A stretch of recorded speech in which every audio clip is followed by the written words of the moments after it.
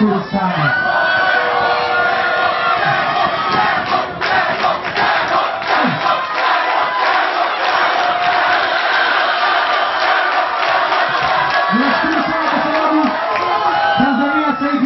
sapoti sana usanii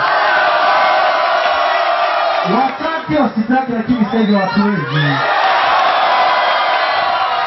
Wanakataa kukubali kama Tanzania sasa hivi tunafanya vizuri, lakini tunafanya vizuri.